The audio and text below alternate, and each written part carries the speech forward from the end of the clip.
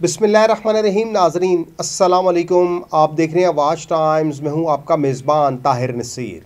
नाजरीन, जहाँ रहें, खुश रहें, आबाद रहें, सलामत रहें। और हमारी दुआ है कि आप नसरबाज़ों, ठगबाज़ों, बहरूपियों, लुटेरों और फ्राडियों से भी बच के रहें। नाजिन आज हम प्रोग्राम करेंगे दोबारा आई एस एम मार्ट के ऊपर, क्योंकि कुछ लोगों की क्यूरीज थी, उस हवाले से उनको क्लियर करना था। और इसके साथ साथ अनाफे ग्रुप, आपको मालूम है कि वो माजी के एक बड़े नसरबाज़ों ने अलनाफे ग्रुप के नाम से प्लाटों का झांसा देकर आवाम को लूटने का मंसूबा बनाया है। उसके ऊपर लपकुशाई करूँगा।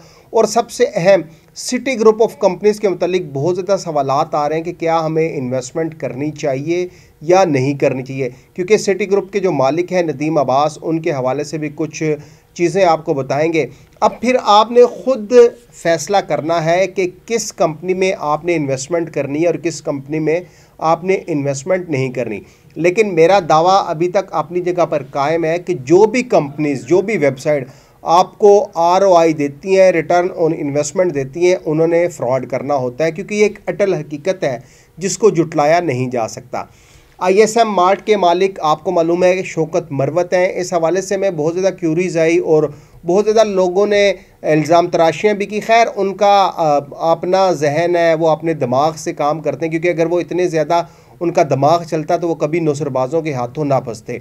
कल रात को मुझे एक कॉल रिसीव हुई और कॉलर ने मुझे बताया, क्योंकि वो भी हमारे एक सीनियर सहाफ़ी हैं। उन्होंने कहा जी कि मैंने आपका आई एस एम मार्ट के हवाले से प्रोग्राम देखा तो मैंने भी इस, इसमें इन्वेस्टमेंट किया तो मुझे क्या करना चाहिए?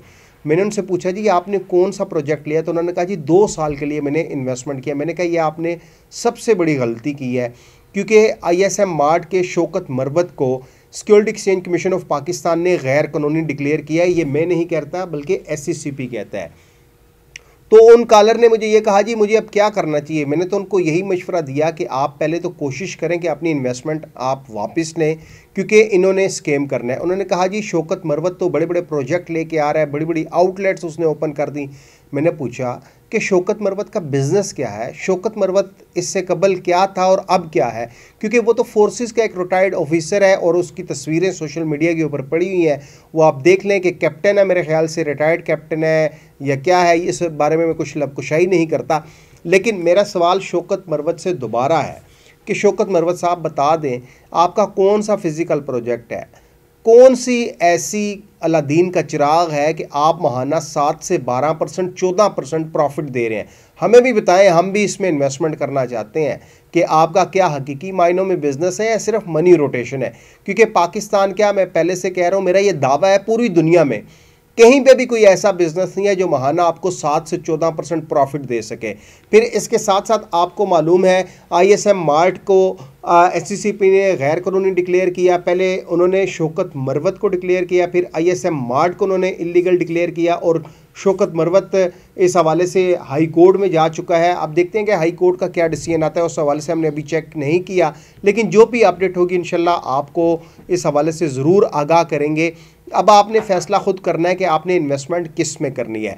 क्योंकि सिटी ग्रुप ऑफ़ कंपनीज़ जो कराची बेस्ड है, नदीम अब्बास उसके मालिक है। सिटी ग्रुप ऑफ़ कंपनीज़ वाले भी ये कर रहे हैं, बल्कि वो दावा कर रहे हैं। अच्छा इनके दावे में मैं आपको, इनको झूठा साबित करूँगा। वो कहते हैं, हम ई स्टाम देते हैं, हम रिमेनिंग अमाउंट का चेक देते हैं बिल्डर्स का जो चेक है वो देते हैं और एक और अदा चीज़ उन्होंने कहा, हम स्टाम्प पेपर भी देते हैं रिमेनिंग अमाउंट का चेक भी देते हैं। लेकिन उस चेक में ये जो नुसरबाजी कर रहे हैं सिटी ग्रुप ऑफ़ कंपनीज़ के मालिक नदीम अब्बास। वो मैं इनशाला अगले प्रोग्राम में बताऊँगा, क्योंकि जब City Group of Companies launch हुई थी तो उन्होंने कहा कि हमारा शूज़ का बिज़नेस है। अब वो वॉइस नोट करके लोगों को किस तरह तरगीब दे रहे हैं कि आप सरमाकारी करें, ये उन्हीं का एक सेल रिप्रेजेंटेटिव है कमीशन एजेंट में इसको कहूँगा, उसका वॉइस नोट सुने। फ़र्स्ट ऑफ़ ऑल कंपनी की मैं आपको डिटेल्स बता देता हूँ। City Group of company basically चार प्रोजेक्ट के ऊपर काम कर रही है। मेन हमारा जो प्रोजेक्ट है, वो प्रॉपर्टी का है। प्रॉपर्टी के हमारे कराची के अंदर चार प्रोजेक्ट चल रहे हैं, जिसमें कमर्शियल प्रोजेक्ट्स भी है रेजिडेंशियल प्रोजेक्ट भी है और उसके अलावा प्लॉटिंग भी है। और फ़र्स्ट हमारा प्रोजेक्ट है गुलशन पीर के नाम से। गुलशन अजीत की बैक साइड पर और एक हमारा रेजिडेंशियल प्रोजेक्ट चल रहा है गुलशन मेमार में, अजमेर टावर के नाम से। और सेकंड हमारा थर्ड हमारा औरंगी टाउन में प्रोजेक्ट चल रहा है और जो चौथा हमारा प्रोजेक्ट है वो सिटी होम्स के नाम से नार्दर्न बाईपास पर चल रहा है। और सेकंड जो हमारा प्रोजेक्ट है शूज़ का, वो हमारी शूज़ की अपनी प्रोडक्शन है कंपनी की। कराची के अंदर अलजदीद मार्केट हो गया, चेज़ वैली हो गया और उसके अलावा इम्तियाज़ मॉल हो गया। अगर आप लोकल मार्केट में कहीं भी चले जाएँ तो वहाँ पर आपको हमारी प्रोडक्ट मिलेगी। आप हमारे साथ दो तरह से काम कर सकते हैं, एक फ़िज़िकल बेस पर और दूसरा इन्वेस्टमेंट बेस पर। अगर आप फ़िज़िकल बेस पर काम करना चाहें तो आउटलेट आप अपनी बनाएँगे शॉप आपकी होगी प्रोडक्ट कंपनी की होगी, आप उसको सेल आउट करके उसमें से अच्छा प्रॉफिट मार्जिन ले सकते हैं। और सेकंड ये है कि अगर आप एज अ साइलेंट पार्टनर हमारे साथ चलना चाहते हैं तो उसमें हम आपको, आपकी जितनी अमाउंट होगी, उस पर मंथली जो प्रॉफिट देंगे, वो आठ से बारह परसेंट होगा।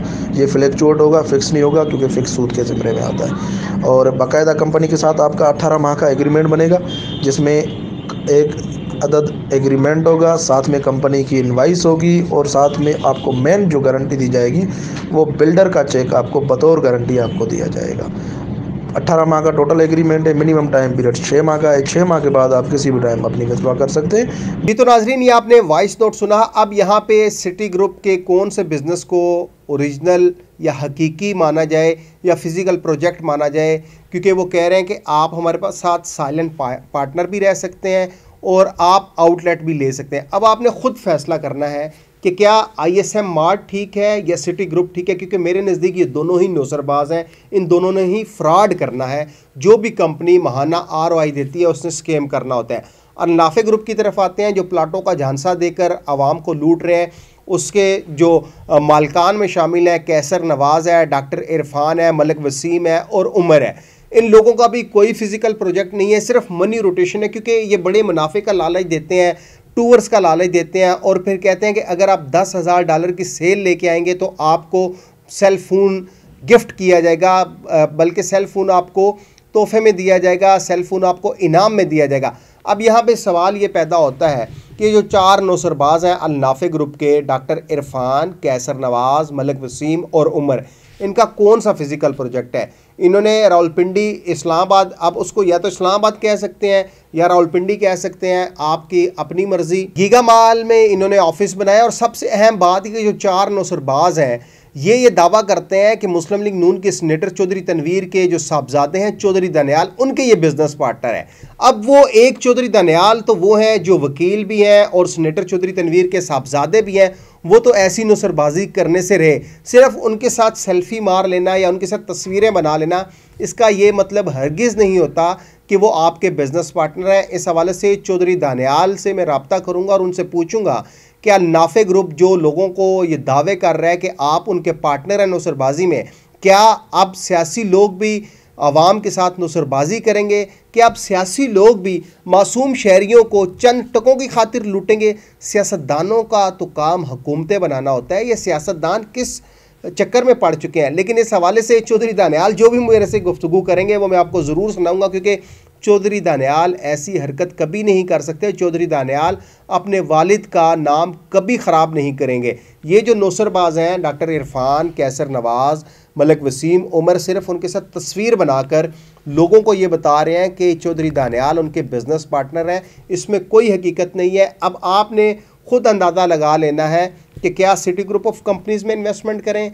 आईएसएम मार्ट में आप इन्वेस्टमेंट करें या आप नाफे ग्रुप में इन्वेस्टमेंट करें? मेरे नज़दीक ये तीनों कंपनियाँ अनकरीब भाग जाएँगी और ये मेरी बात आप नोट कर लीजिएगा, क्योंकि जब आपके पास फ़िज़िकल प्रोजेक्ट नहीं होता, अगर फ़िज़िकल प्रोजेक्ट भी हो और आप महाना सात से चौदह परसेंट प्रॉफिट दें, ये हो नहीं सकता, क्योंकि ये कानून जो है, ये दिल भी नहीं मानता, दिमाग भी नहीं मानता और जो बिज़नेस कम्युनिटी है बड़े बड़े बिजनेसमैन उनसे भी हमारी गुफ्तु हुई तो उन्होंने भी कहा, ये हो ही नहीं सकता, इन लोगों ने सिर्फ़ फ्रॉड करना है। तो लिहाजा आप इन कंपनी, इन वेबसाइट जो आपको बड़े मुनाफे, बड़े इनाम का लालच देते हैं, इनसे बच के रहें। अगले प्रोग्राम तक के लिए अपने मेज़बान ताहिर नसीर को इजाज़त दीजिए। अल्लाह हाफिज़।